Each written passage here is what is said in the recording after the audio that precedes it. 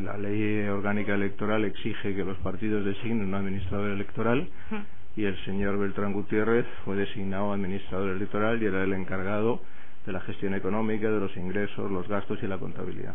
Vale.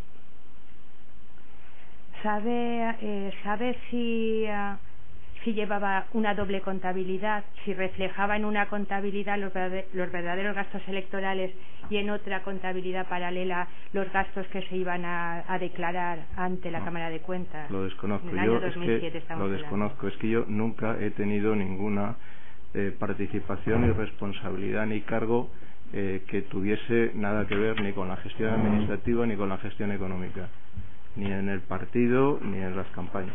Vale, pero usted era el director de la campaña. ¿Me quiere decir, espere que acabe la pregunta, ¿me quiere usted decir que usted no sabía eh, qué tipo de contabilidad llevaba el señor Beltrán Gutiérrez? Absolutamente ninguna. No sabía absolutamente nada porque no es una eh, competencia que le corresponda al director de campaña. El director de campaña tiene unas funciones de naturaleza política. Dirige y coordina políticamente la campaña y sobre todo da apoyo al candidato eh, de las elecciones. Pero en absoluto participa en nada que tenga que ver ni con la gestión administrativa ni con la gestión económica.